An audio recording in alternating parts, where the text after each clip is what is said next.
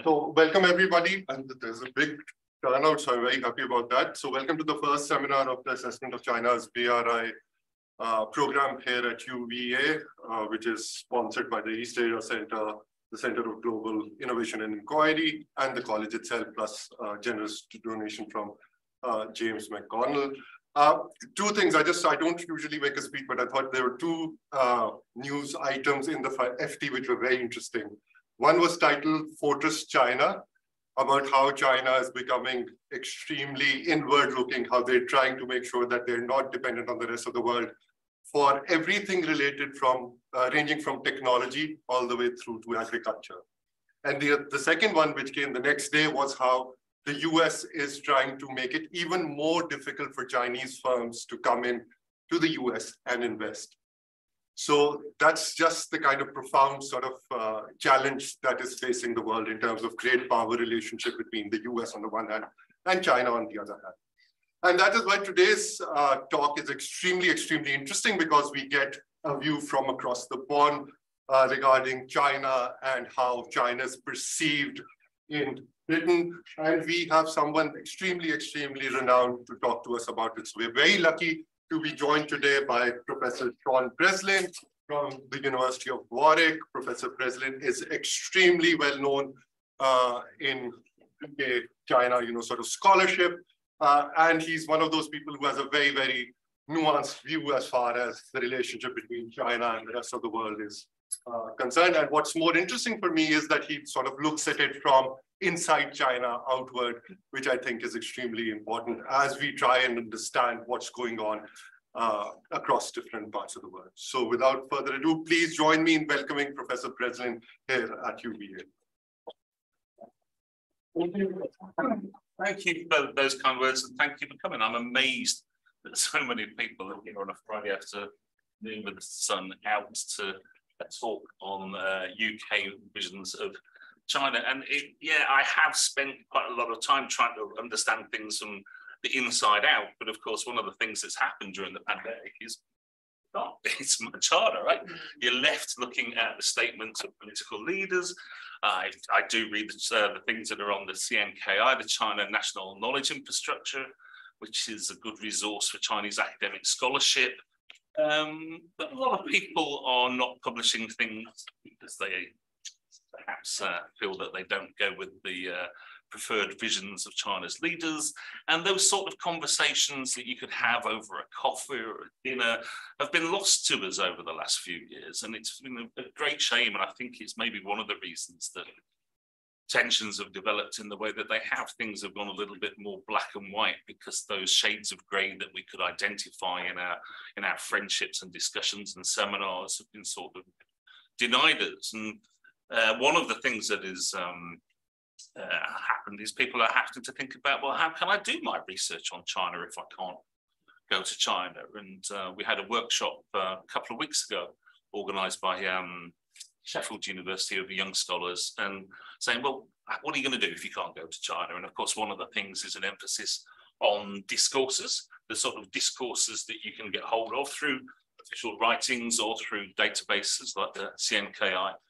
And another thing that I think we're going to see quite a lot though is an increase in stuff like this. So rather than trying to understand China, which is what I've been trying to do since, well, I first went to China in 1984 as an undergraduate, which I realized last year is closer in time to the founding of the People's Republic of China in 1949 than it is to today, which was a bit of a horror show. I saw I saw Wham perform live in the Worker Stadium in Beijing in 1985.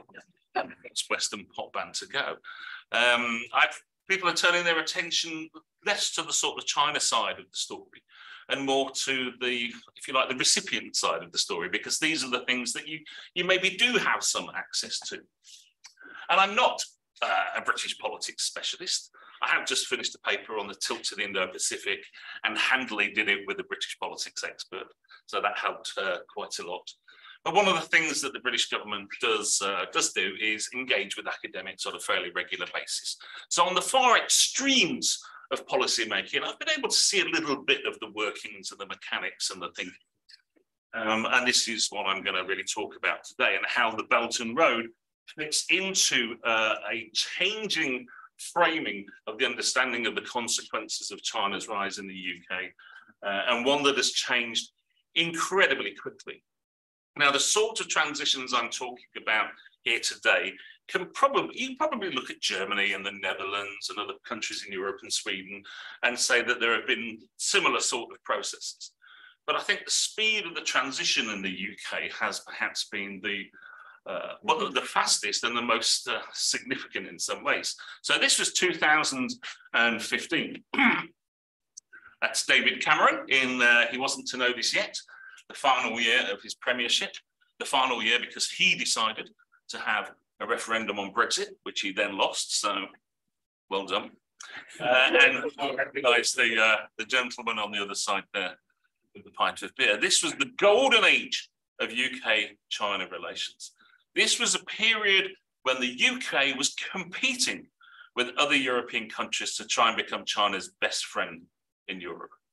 There was a feeling that the UK had fallen behind, particularly to Germany, uh, that Chancellor Merkel had done a very good job at promoting Germany-China relations. Um, Cameron had previously met with the Dalai Lama. There was a feeling that the UK was losing out uh, and that the UK had to try better than ever to become China's best friend.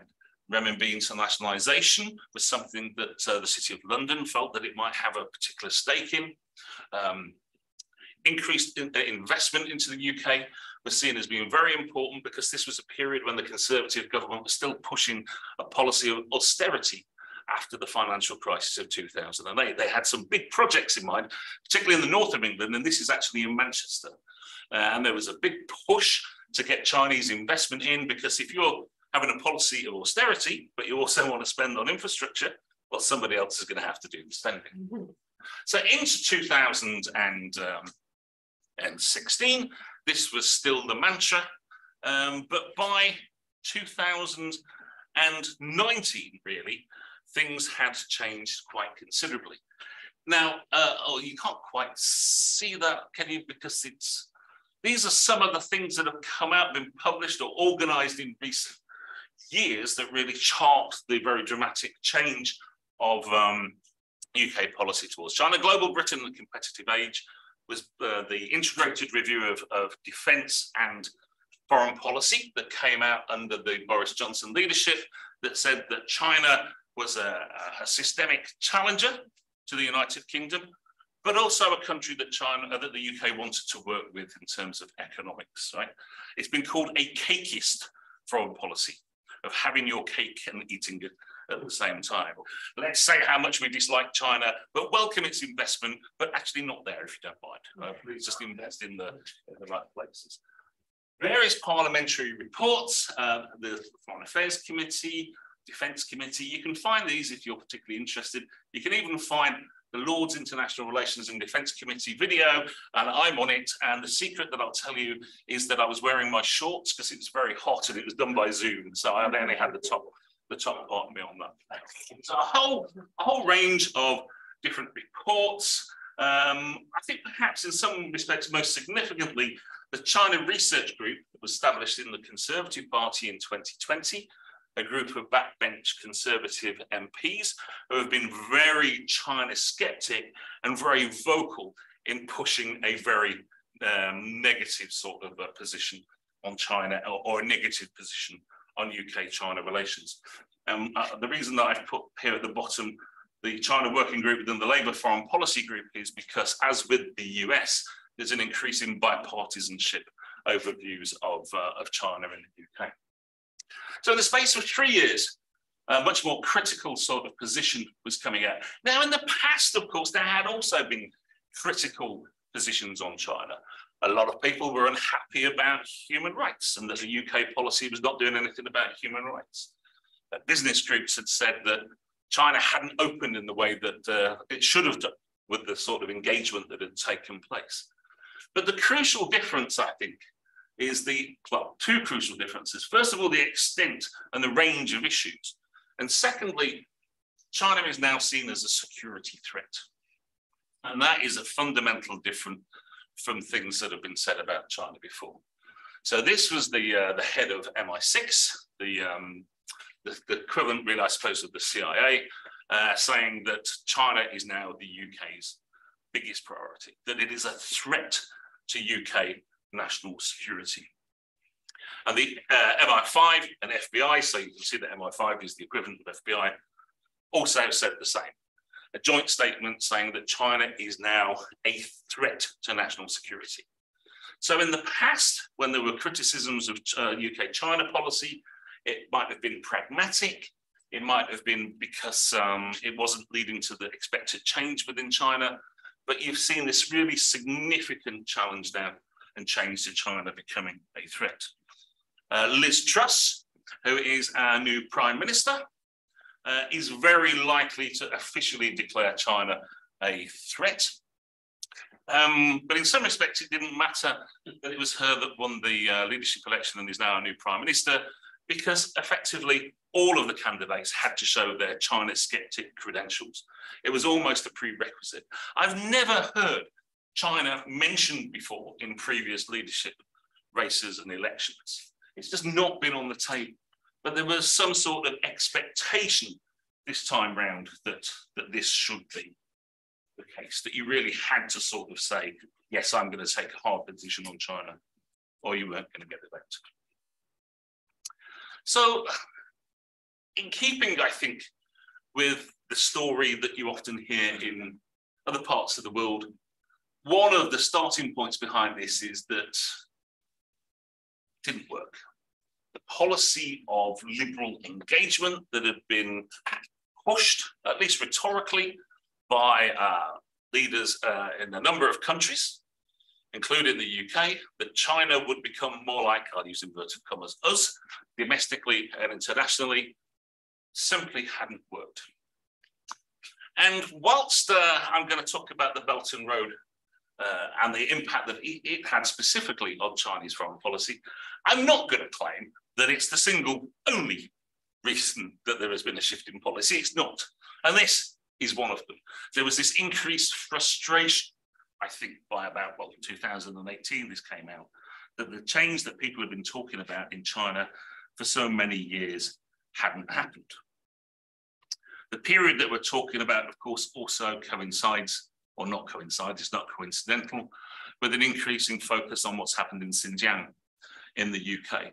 It became quite big news for many years. Human rights in China had really gone off the agenda. People were talking about discussing it.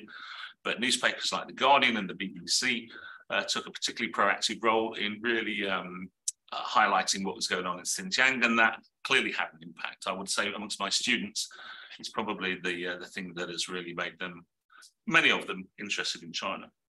And of course, um, what's happened in U in Hong Kong has very specific resonance for the UK because there are international treaties involved and also passport and citizenship arrangements. So changing China has also had an impact. So it's not just that China hasn't become more like the West in the sort of popular discourse, it's got worse, as it were. Things have got worse within China. So that's another reason. Um, the, the, sort of contagion or influence of debates over China in other countries, not least here, not least in the States. I mean, there was direct pressure placed on the UK government about um, policy towards Huawei, but, but certainly what's happened in Australia China relations has had an impact too on the way in which the wisdom of becoming too closely interlinked with the Chinese economy has been discussed and debated. Supply chain vulnerabilities. There's more talk these days about um, the problems of, you know, what if in the future something happens to disrupt these supply chains, as has happened with COVID, and indeed when that ship managed to park itself right across the Suez Canal, which actually had quite a big impact on the import of certain commodities into the UK from what. All these things we'll come back onto shortly. The pandemic, yeah, it doesn't help, right? I mean, it certainly didn't help. Certainly the way in which a rather defensive, aggressive position was taken by some Chinese foreign affairs uh, figures went down quite badly in the UK, including the uh, then ambassador from China to the UK, and the war with, in Ukraine has, has clearly had an impact too. Um, perhaps this, more than anything else, this is actually Chinese direct investment into the EU as a whole. And what you see is insignificant, insignificant, insignificant, global crisis, bang, right? A very steep upward curve. Now we need to be a little bit careful about these figures, as I will explain in a second. Um, but when you have a jump like this, it's going to make people take notice, right? So you have a changing material relationship with China. From China being primarily seen as being a producer or a market or a global workplace, to China as a source of finance for other countries in the sort of 2000s, Chinese investment in Africa, Latin America, to this rather rapid rise. And if you can't see it, this is mainly acquisitions. So this is mergers and acquisitions. And of the countries that China looked to in Europe, the UK was one of the most significant. So from not really being worried at all about Chinese investment in about 2012, 2013, it rather quickly comes onto the agenda. Having said that, we need to be a bit careful. If you show a figure like this, you see a huge rise, but actually it doesn't tell you much on its own. How much is that compared to investment from India, from Japan, from the United States, from Ireland? And the answer is actually not very much. And the reason it stops at 2016 is it starts going down hmm. after, after that. This is Tom Tugendhat, one of the most vocal voices of criticism over the UK's China policy, stood for leadership, didn't win. In uh, something on the China Research Group's webpage, you can go away and have a look at it. And that's uh, Sherrod Cooper Coles, who's chair of the China Britain Business Council. And you can, you can go through this debate. But the uh, what it adds up to is while all this looks great, if you compare it, it's not. The total stock of Chinese investment in the UK, last figures, 0.2% of the total foreign investment stock in the UK. Right. Investment is dwarfed, as you can see there. I keep saying, you know, I use an island, it's because I'm Irish, but investment from Ireland dwarfs the amount of investment into China. So why does it become so political and why does it come so contentious? Well, partly because it's grown quickly, but partly because of expectations about the future. And this is where the Belt and Road comes in. Because I think the Belt and Road was very significant in creating an understanding of what it was that China wanted. And these are horrible terms. What does China want? Because if you, you know, if you want to go and ask every 1.4 billion Chinese, you might get more than one answer. But that's the sort of language of the debate. So I think this is this is really interesting. So this was in the Guardian in 2015. I'll explain who these people are. Jim O'Neill, you might know, he was the banker who came up with the BRICS acronym. He invented the acronym BRICS. Hmm. He became a member of the House of Lords, an advisor on UK policy, and became Commerce Secretary in the government. George Osborne, actually, George Osborne, he was the Chancellor of the Exchequer, so effectively the, the, the Treasury Secretary, I think, in the American system. And this guy basically ran UK China policy under David Cameron. So that tells you something in itself that it's the Treasury that is running China policy rather than the Foreign Office. And actually, the quote is probably less important than the title. It's in Britain's interest to bond with China now. The future prosperity of this country depends on us strengthening our relationship with the world's next superpower. Now, if you ever write academic articles, don't have a title as long as this, right? But, but at least it, it, it sums it up. It tells you everything that you need to know. And why has he, he thought this? Because of the Belt and Road. Right? He's listened to the message of the Belt and Road. He's accepted it. He's taken it as a signal of a China that is prepared to, to do things in certain ways in the future. Here is a China that has the financial resources. Britain's a not particularly powerful country. Are we able really to sort of uh, change China? Probably not. So we may as well get on with it and try and build as good a relationship with China as we possibly can. Uh, but there we are. Actually, one of the trips that he went to China, he did go to Xinjiang uh, and refused to take um, answers uh, questions from journalists. And actually, his policy was very unpopular, even within his own party. There are lots of people within the party that thought he'd just gone far too far. But he listened to the Belt and Road. So basically, I think we can say that the Belt and Road has been crucial in establishing a new sort of focus on, on economic statecraft. And it's not perhaps the Belt and Road itself as much as the way that the Belt and Road has been projected and promoted in certain ways. There was a, Yue was, I think he had a book out on the Belt and Road almost before uh, the, the, the, phrase had become commonly known. Um, there were groups of think tanks uh, going around Europe extolling the virtues of the Belt and Road, explaining how this was China's new great vision. I wonder perhaps more so in Europe than here, because perhaps here there was always a feeling that Americans were never going to buy it, right? but there was a possibility that Europeans might find some way of buy into this new thing. Uh, but it was a very a very, very forceful, proactive promotion of the Belt and Road. This was strategic signaling by not just the Chinese state, but think tanks and academics to promote this idea. And, and people like George Osborne heard it, listened to it, and said, let's get on with it. The problem was that a number of other people saw it, listened to it, and instead of saying, oh, good, said, oh, God. So uh, uh, uh, Freeman is actually a PhD student, I think, still at Oxford, uh, but writes a lot into um, various um, small provincial universities, but writes a lot in uh, think tanks and, and, journals and things like that. Referred to it on the China Research Group webpage. Remember the group that's set up in the Conservative Party as a political campaign to build a regional and global order with Chinese characteristics. So what I think the Belt and Road did was serve as a framing mechanism through which people then perceived China's future intent and created a framework through which they, they looked at other things that China was doing, including things like the investment that I was talking about before.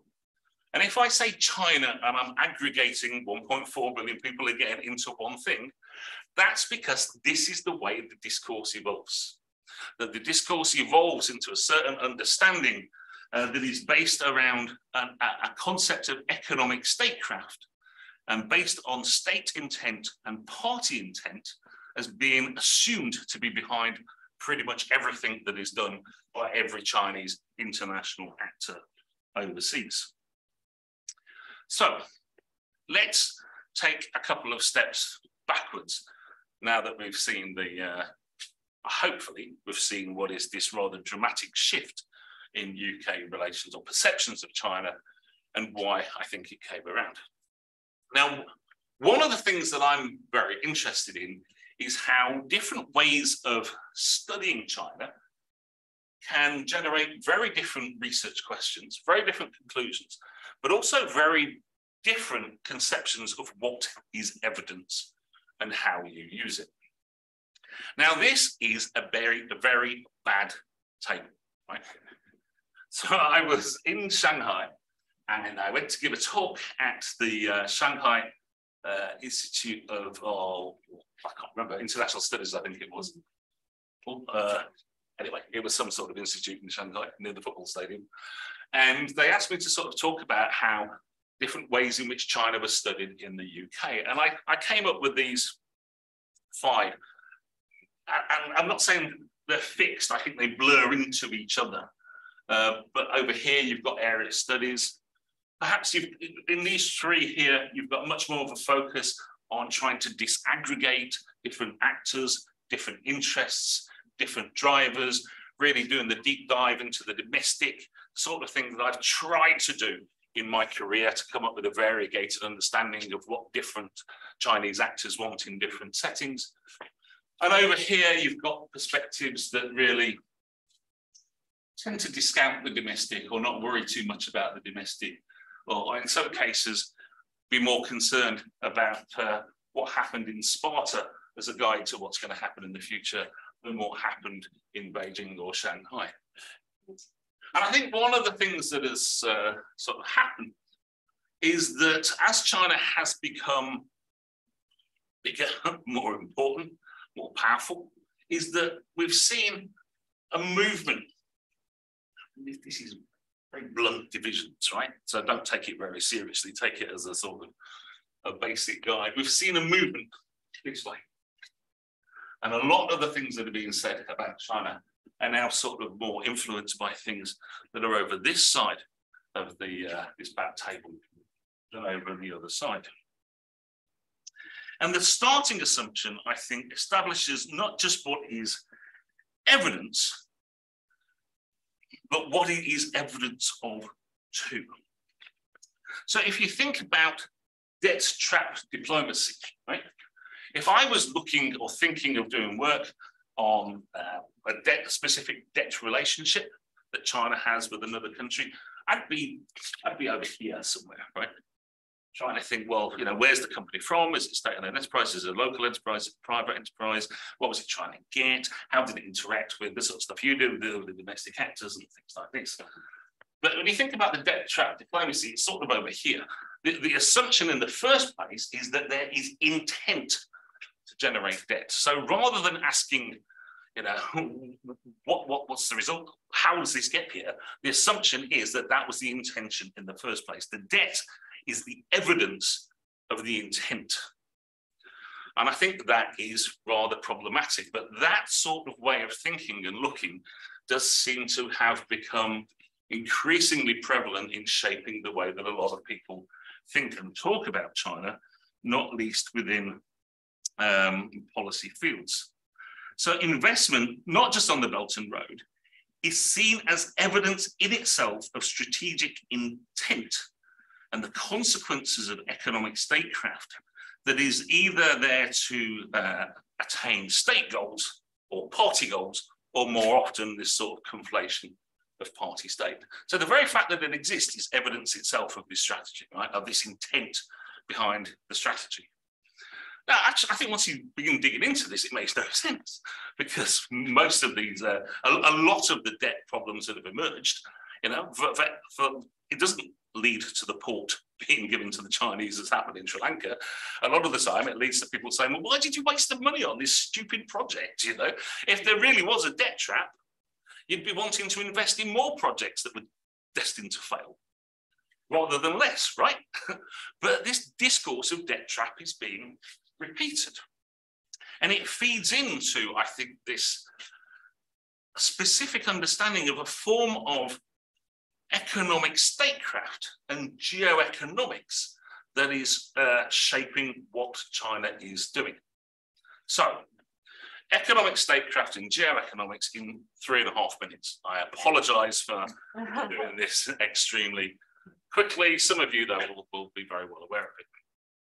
So I've sort of tried to divide it into sort of three generations. David Baldwin's book in the 80s really led to a sort of upsurge in interest in economic statecraft, and he was looking historically to see how various things that states had done had led to um, consequences. And his argument was that actually they'd been more successful than the overall general literature on international relations would, would have us believe.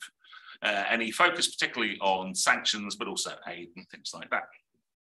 Then, after the fall of the Cold War, fall of the Cold War, the end of the Cold War, um, there's a new generation. As sort of old security concerns disappear, there's a new generation of economic statecraft literature where really I think they're actually talking about economic security much more than, than, than economic statecraft. But there's another uh, upsurge in literature talking about how you how you marry globalization and security.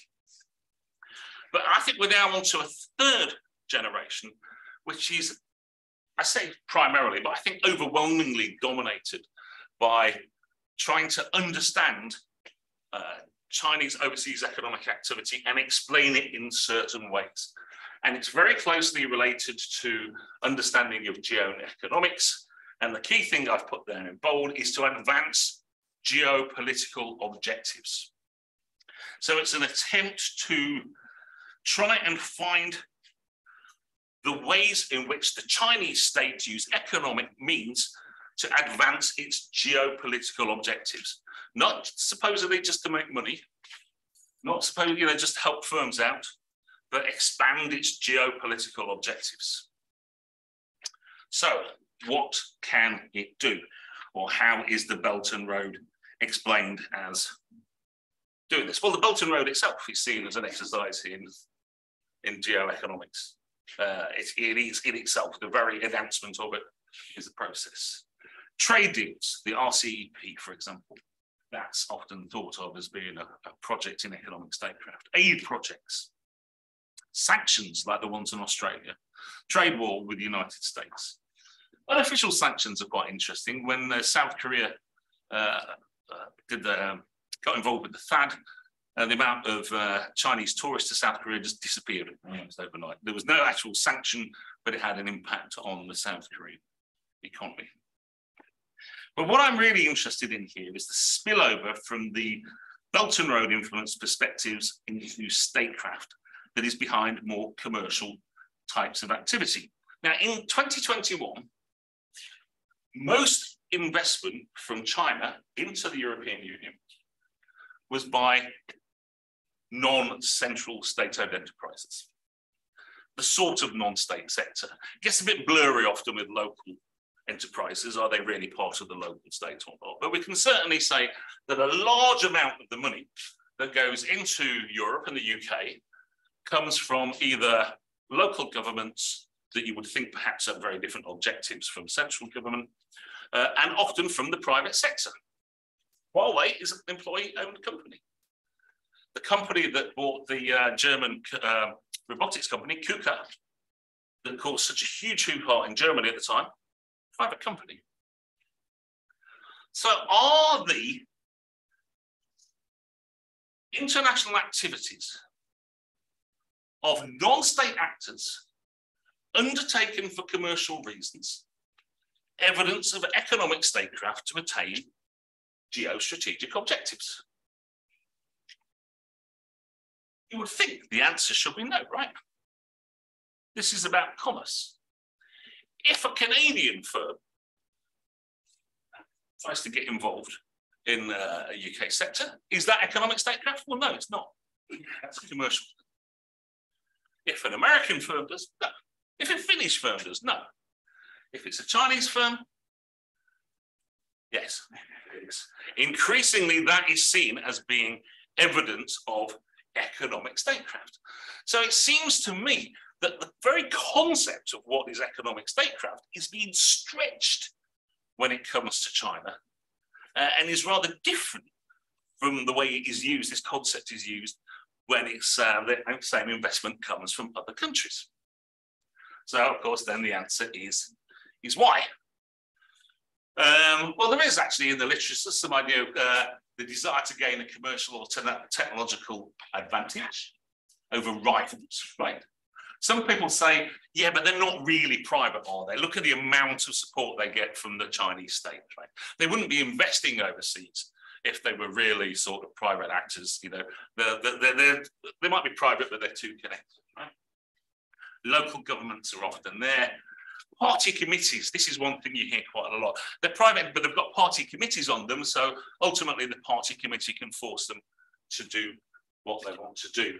And the party might not be on a day-to-day level controlling them, but in the future, they might be able to if they want to. The party might not be controlling Huawei now, but what about in the future when it decides to? But here is the two things that I, I think I want to focus on. There, is this even greater amorphous, undefined, I think, idea that if a Chinese company gets bigger, stronger, more competitive, wealthier as a result of these activities. Add this all together, and it results in China becoming bigger, stronger, wealthier, more competitive in the future. And then you have this even less specific idea that a bigger, stronger, more competitive, richer China in the future cannot be a good thing. That's why it becomes seen as being economic statecraft. So it's the consequence that almost ends up defining it as economic statecraft rather than the actual action and intent. And to come back to what I was saying before, I think a lot of this is due to the way that the Belt and Road was seen as an exercise in strategic signaling. So I'll try and leave uh, some time and go through this last bit relatively quickly. So here we have in the parliamentary, the latest parliamentary inquiry into UK-China relations, these people get evidence at the same session. This is Yu Jie, Cherry Yu, who I taught as an undergraduate the first actually PRC student to do an undergraduate degree in politics and international studies at Warwick. She is a researcher at Chatham House. This is Charlie Parton. Charlie is a retired uh, diplomat who has become, what is, what is the phrase we're using, Brantly? He's become very proactive in pushing his views on China. So Yu Jie says everything that instinctively as an academic who has spent years trying to understand China from the inside out would say. You know, when we're talking about economic security, we have to differentiate between whether those investments are truly for state purposes, as an expression of state capitalism or individual economic behavior. I think we have to distinguish that before we can draw a conclusion to argue whether Chinese investment should be seen as a threat to UK national security. Charlie says, I'm not particularly bothered by the ownership of countries, it's irrelevant. There was the whole Huawei debate about the private company or state-owned company, who cares?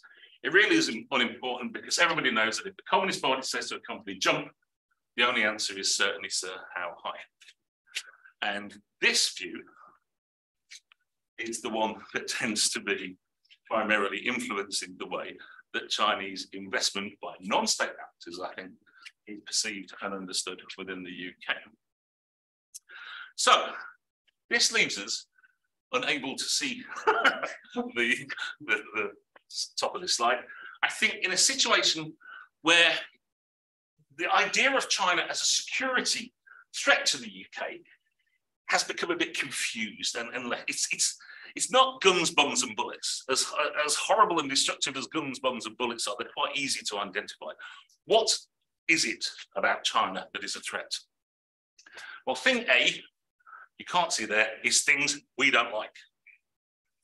Xinjiang, Hong Kong, political repression, lack of liberalisation. And I think that's very important. But is a, a security threat? Number two is immediate challenges, immediate threats. And then it's actually quite difficult to think what, what these are. Uh, there have been times when China's restricted some exports of rare earths, for example. Um, sanctions. You might have heard today that the Chinese delegation has not been allowed in to see the Queen because um, a number of UK MPs are still officially sanctioned by the uh, by the Chinese state. And so they've complained about this, and so they've not let the Chinese delegation. UK is not in a trade war with uh, with China, but Australia is that sort of thing. That's an immediate threat. The things that um, are seen as being the threat by MI5 and MI6 are influence operations designed to sort of uh, shape discourses and policy debates. So wouldn't it be interesting if I was an agent of Chinese influence that was using this to talk about Chinese cyber uh, and technology stealth. Technology stealth is seen. So these are the immediate things, right? But then we get this bigger group, things that might become a threat in the future. And this is, I think, what most of the discourse is about. The what if questions. What if, what, what, what Charlie's saying really, what if the party at some point decides to do this? What if in the future Huawei does do this? Uh, what if the nuclear power plant has some sort of technology built into it? So all these what if questions are the things that people are focusing on, I think, most closely. Then we've got world order type challenges, which I would divide into two. One would be, if you like, a normative challenge, like the way in which um, the concept of human rights is being challenged at the United Nations. I think uh, in some cases quite effectively. Um, by, uh, by Chinese representatives. And the other are what you might call political economy world order type consequences, changing flows of uh, goods and money across the world, uh, for example, through Chinese investment in and along the Belt and Road in Africa and places like that. And then you have this unspecific assumption that a rich and strong China cannot be a good thing for the liberal order. So I think we've got these are where the China threat actually emerges from. And in my view, A and E, so things we don't like, and the unspecific assumption shapes what is perceived as what might be a threat, and also some of the world order type threats. And I'm not saying this is necessarily right or wrong, But depending on what you think the most important threat is, you have to have very different responses. So if, if you're going to focus on B and C, that might push you down a route of economic nationalism and protectionism in response to this China threat. But if it's D and you're looking at the political economy consequences, that actually might suggest a route of more internationalization and internationalism and globalism rather than economic nationalism. So um, I think it's, you know, it, it's unclear. It's this idea that there's something out there that needs to be resisted. I think the Belt and Road played an important role in, in shaping those framing mechanisms, uh, although perhaps not as important as um, the other things put together that I've been speaking about. One final question is, how much does the policy shift discourse really matter? In the period that the um, China has been increasingly spoken about as a security threat, people are talking about disengagement, UK investment in China has increased. The business community don't seem to have seen the same sort of threat that the political uh, commentators seem to have. Or the British government has not put in place the sort of policies to act as incentives and penalties to obstruct what is still seen as the economic logic of engaging in China in a certain way. Ready for this? This is an amazing graph. This is the shift in the UK's trade relationship with major countries after Brexit. Being trade dependent on China is a bad thing. So the discourse goes, and what happens? You can see the number. Now, this is partly because of the pandemic and the sort of things that are being imported, uh, and partly because of the recovery. But look at this. Netherlands is a very specific case because of the Rotterdam effect. If anybody's really interested in the Rotterdam effect, I will explain that later, but don't worry about it too much for the, for the time being. But in the context of Brexit, in the context of exact moment when the discourse of China becomes more China skeptic, in some cases more China hostile, China seen as a threat, the economic relationship actually becomes deeper and more embedded. I don't know where that actually leaves us, um, but that's the situation that we're in at the moment. I think uh, Liz Truss, as incoming Prime Minister, obviously has a lot of things on her agenda. Uh, the incredible price of energy in the UK, it's astonishing. You think gas is expensive here? Drive a car in, in the UK. In fact, why aren't you all in the UK? The exchange rate has collapsed. You, you, you, could buy most of the country if you hopped on a plane over there now and come back again. It's effectively one to one. 2004, I got $2 to the pound. I just got $1, 1.06. But somewhere on that list is China for Truss. I think we're going to have a, a thorough investigation, not just into economic links, but also perhaps into educational links. If you're worried about trade dependency on China, whether it's a good idea to officially call China a threat to national interests, that level of trade seems to be increasing. I'll, I'll, I'll leave that for you to decide. It's a hot Friday afternoon. This picture was actually taken on National Day 2018 uh, the West Lake in Hangzhou. If it looks empty, it's because 8 million people standing behind me watching me take that photograph at the time. But that's my uh, political philosophy. Tutu used to say, thanks for listening, if indeed you have been.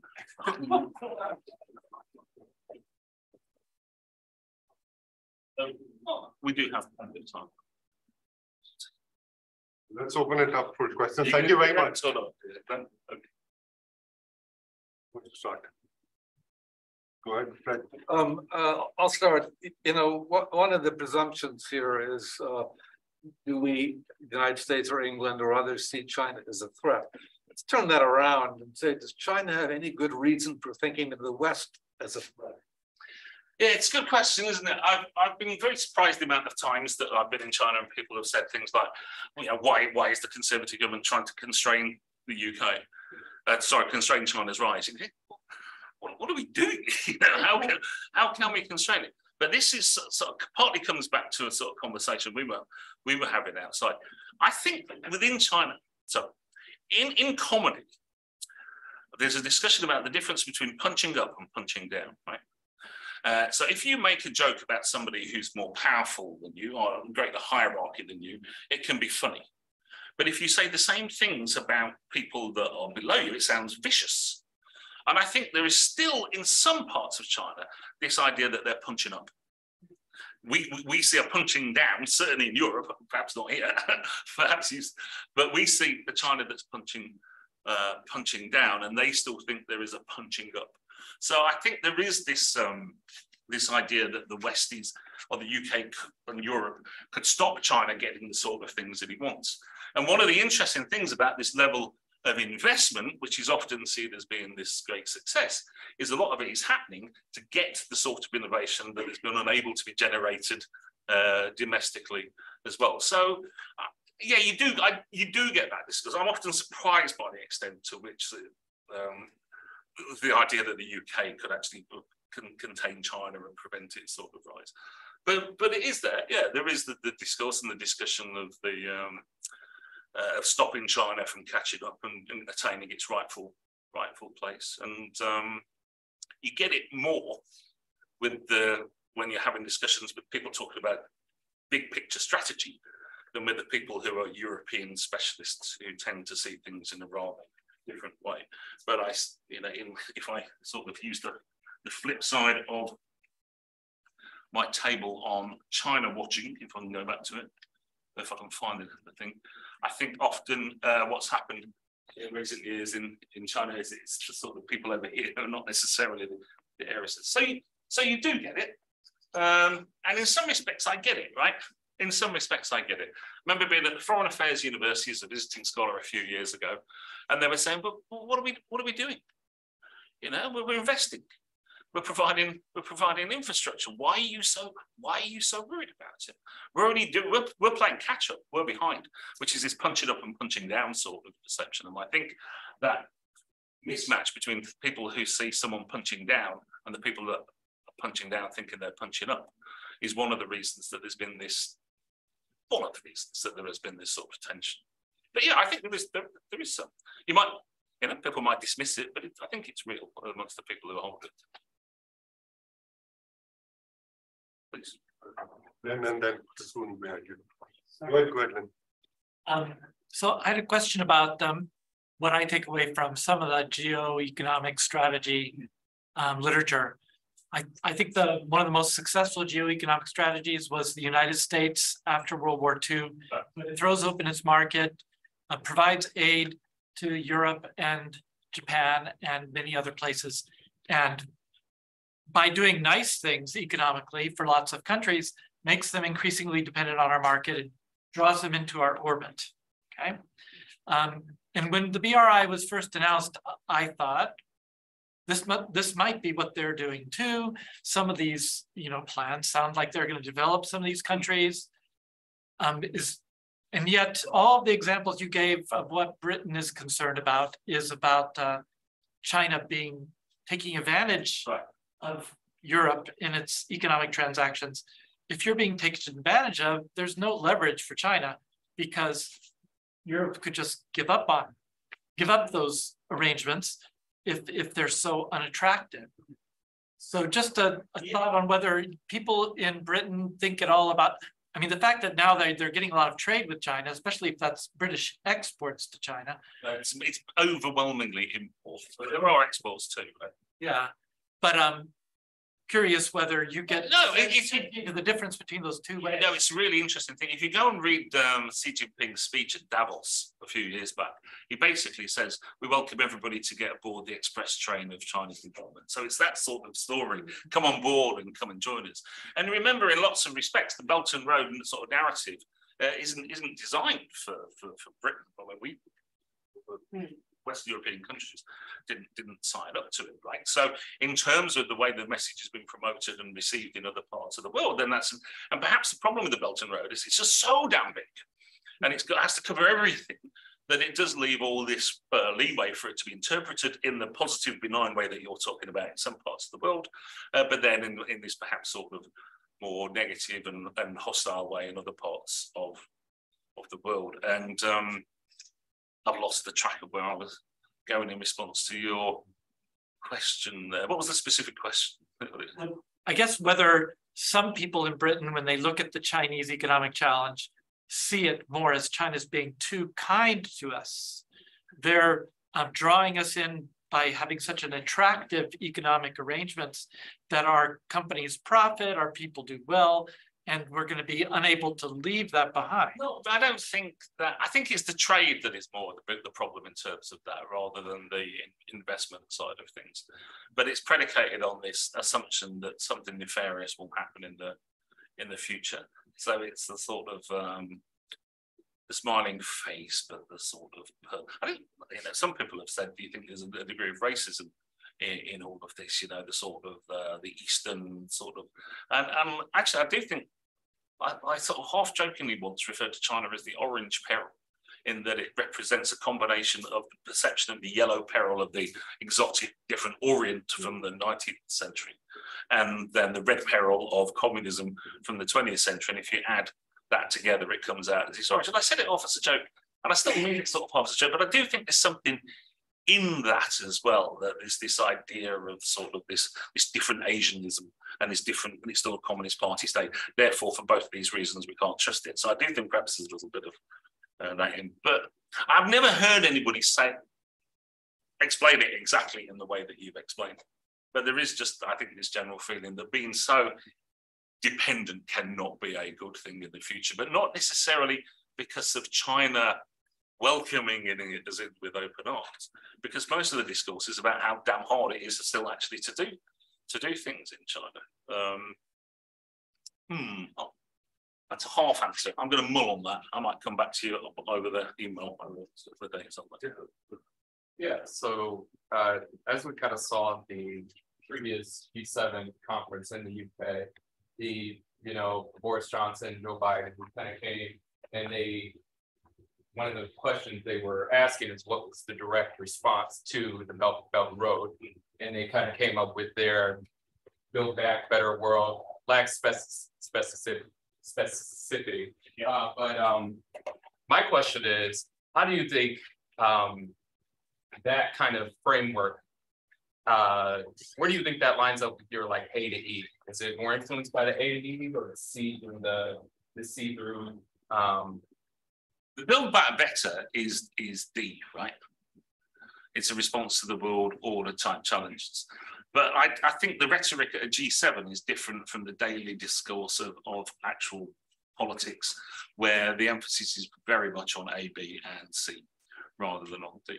So the, the UK's, uh, it, it's that is called what it, a tilt to the Indo-Pacific, right? So it's not a pivot, it's a tilt. but this doesn't entail anything like the sort of commitments that the European Union are talking about through their gateway or the Build Back Better. It's more a sort of diplomatic shift and tilt. So in terms of the concrete things that are being done in terms of uh, a British Build Back Better, I can't even say it, build, build back, you know what? um, it's it's it, it, insignificant is that too strong? It, it's not very significant compared to the, the daily focus that has been placed on A, B, and C. And my gut instinct is that we will see less even of that internationalism under the new prime minister than we've seen before. So I think we might see the existing development spending commitments cut actually. Um, in the next two years up to the next election. I wouldn't be at all surprised. I, I noticed that there's a, a question in the chat. Since Oh. start, I don't know. but- Oh, okay. Yeah, so, Brett, I think Professor Womack, go ahead and then. Yeah, yeah, yeah. Oh, Great talk, and so many different ways to go, but let me just, um. Say one short thing about uh the party committees and, you know, whether the Chinese. Government can order the companies in their involvement.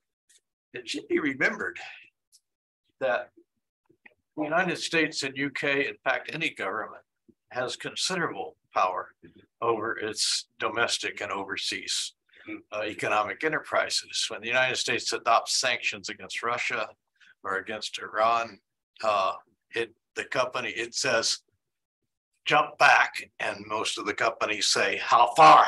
You know, it's not a question of, of party committees, it's a No. question of national policy. I think he was explicitly trying to get over the things that she was saying here, though, about making a, because if you frame everything as being the Communist Party, Right. even more so than the Chinese state, Right. then it generates a certain type of reaction. Right. Right, because it focuses on a mechanism rather than the actual ability. On on a mechanism, but it also, you know, Communist Party.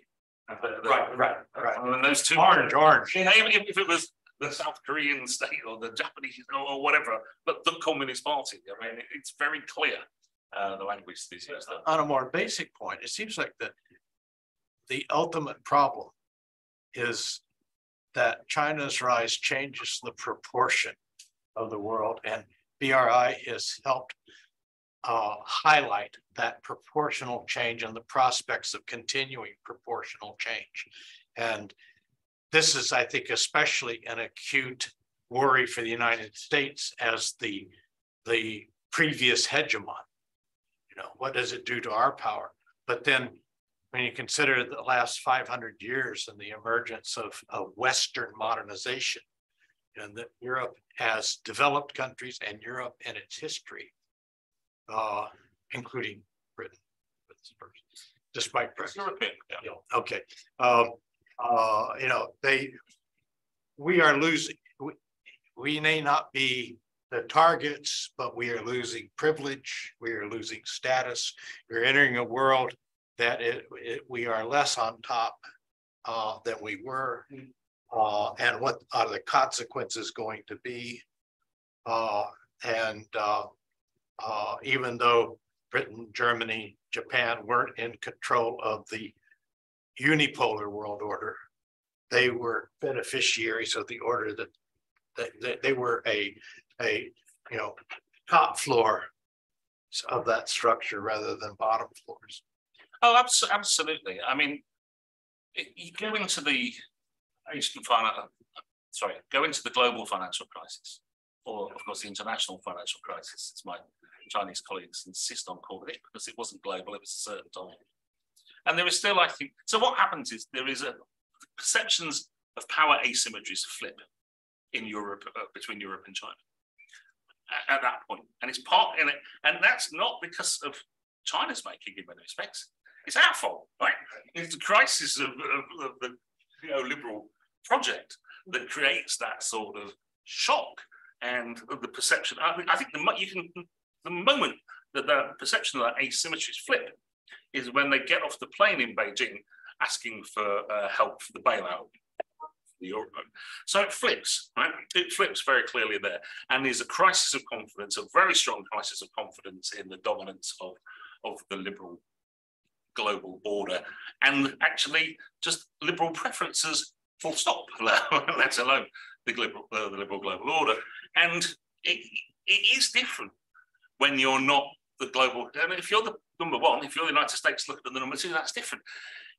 You know, European countries and Europe as a whole is trying to work out how it can deal with these externalities that it really doesn't have the ability to control or even influence in the way that the United States does. I mean, the United States might not be able to change China, but it has significant influence over the uh, whole range of things in ways that, that Europe simply just doesn't quite. So there is, I think, underpinning a lot of this, not just the looming spectre of the world that you change, but where does this leave us? Where does this leave, you know, the liberal order and liberalism and all these things that we thought Or the Western order, let's say, all the West, the liberality of it may Yeah. be questioned in some respects. okay, yeah, all the, all the Western Europe, or the, or where, you know, where is the place for Europe as this, this order sort of shapes out? And, and Britain finds itself in a particularly tricky place because it, you know, can't quite decide really whether it's just going to go along with an Anglosphere. You look at AUKUS,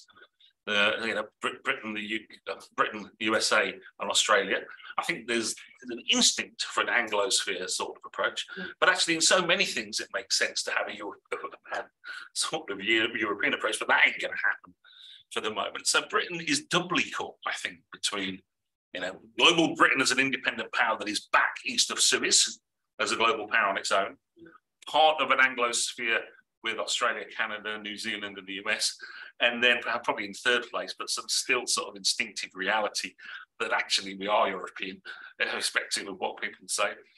And many of our uh, things in the future are going to depend on what happens in the rest of Europe. So I think, yeah, so that's a complex way of agreeing, but Yeah, and then, uh, So I'm really struck by the sort of the dual track system, let's borrow this phrase, between the discourse and action, which it seemed to be playing out in the American case as well. We see sort of the trade war going on, but actually Chinese uh, export to the US increased by twenty or thirty percent. yeah, But in the US, American investment increased into China too. oh, it is. We did last year. I was about to say that there's a kind of vulnerable linkage in American case of the interest American companies.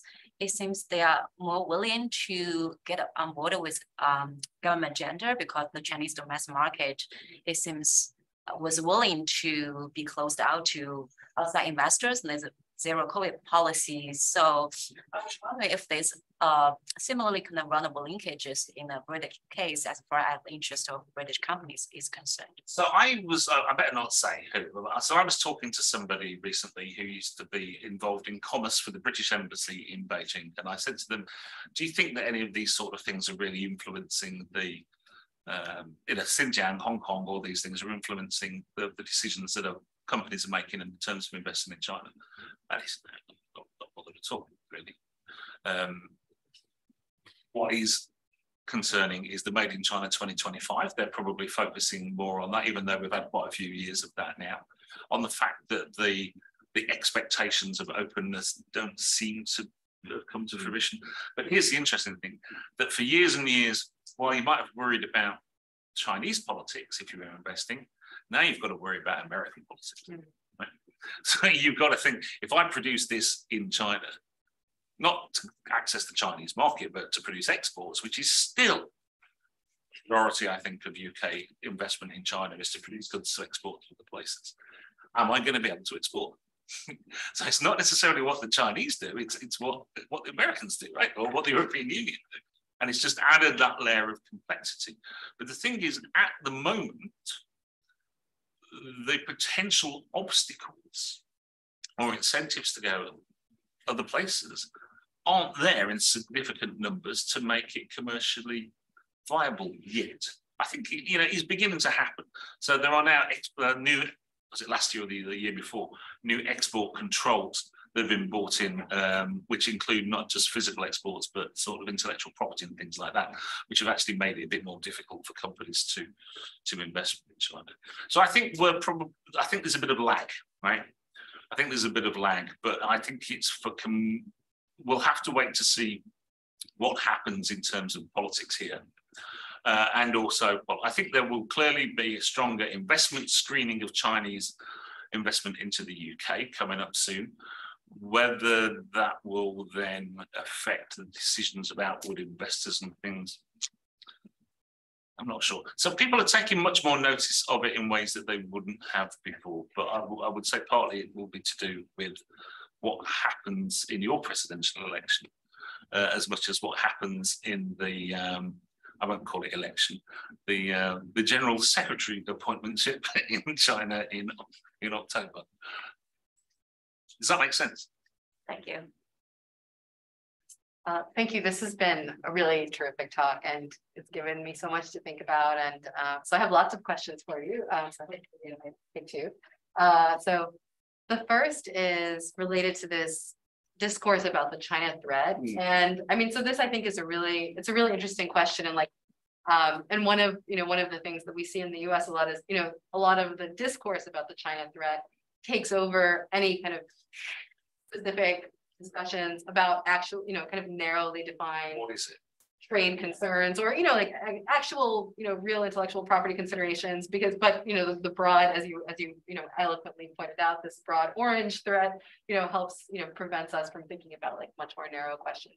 And that's actually something that I think is really interesting in these two examples that you bring up, where, you know, one is a, one is a kind of much more pro-business uh. View, the other as a, you know, kind of very like broad spectrum China threat question, and in between this, I think, um, one thing that, that really strikes me are these.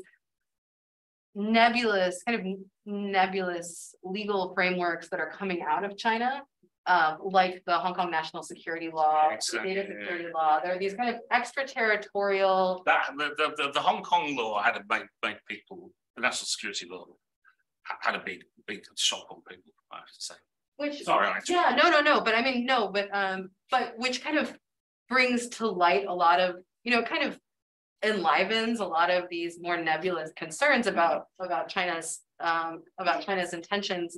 By, by actually listing them out and saying, you know, here are these, here's this extraterritorial oversight that we were asserting without of very detailed. Um, restrictions or, you know, kind of clear constraints about what we're, what we're actually looking at. It's just like national security broadly defined, um, and we're not going to dig down into it. So I guess I, what I was wondering is how, when you're thinking about the China threat and, and these kind of broad Chinese laws, how do you, how do you navigate that um, in a kind of nuanced way rather than, you know, going in one direction or the other? So that's question number one. And question number two is also, is, um, have you looked at, so I, I was in Japan over the summer looking at a lot of these questions of Sino-US relations there. And one of the things that was really interesting um, was that there are a lot of similar patterns that we, that emerge from the Japanese context with like an increase in investment, but also this concern, you know, negative popular opinion.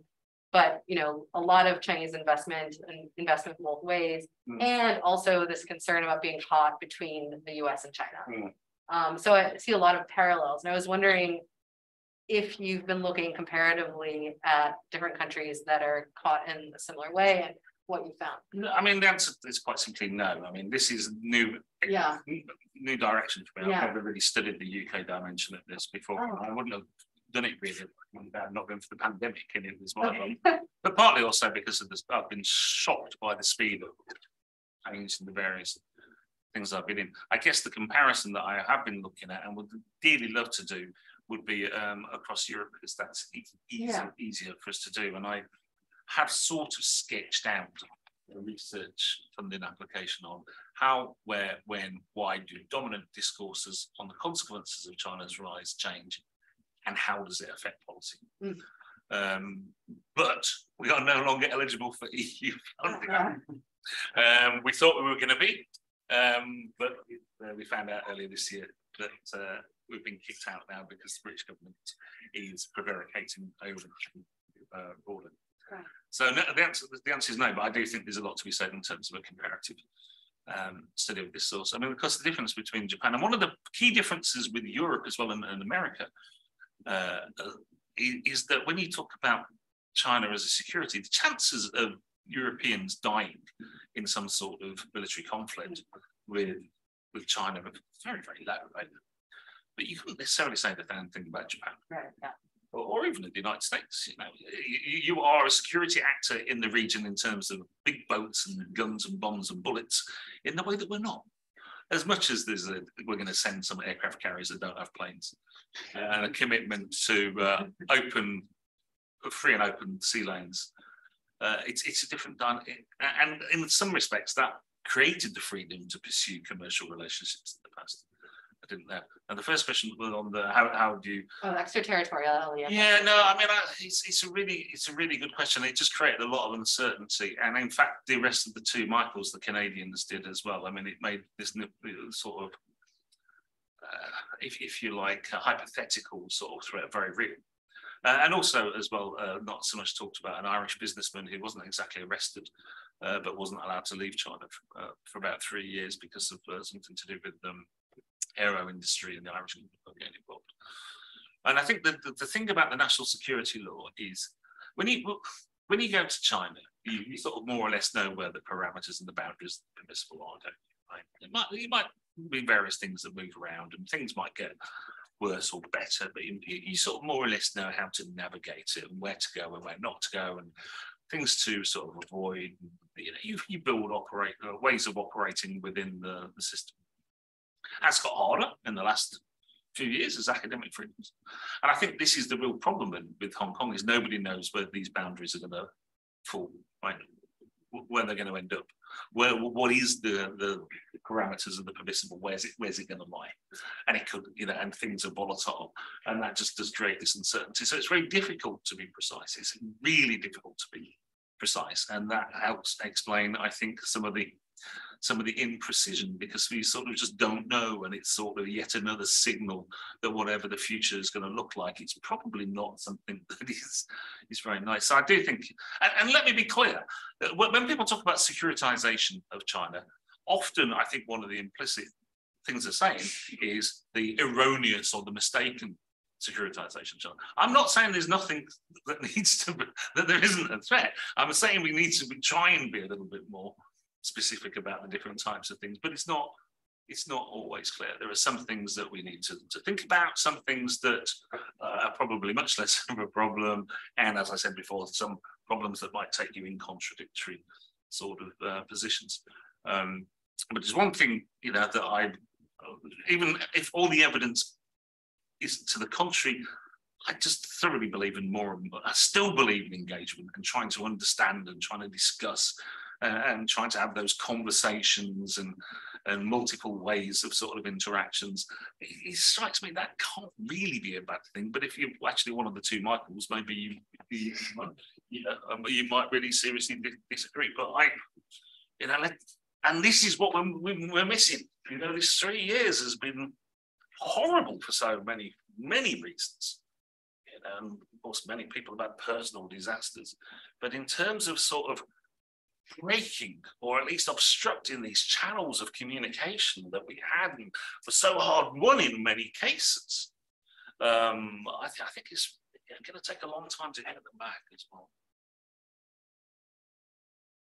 Final question.